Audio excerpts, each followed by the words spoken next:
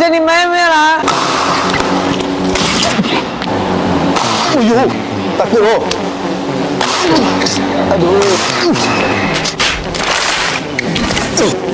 Hei, bukan macam ni main-main lah. Pegang lagi salah. Gua pun salah. You main pun tak fokus, tak tengok depan. Macam mana defend? Macam mana? Lai, saya you pegang raket. Eh, bukan macam ni lah. You pegang raket.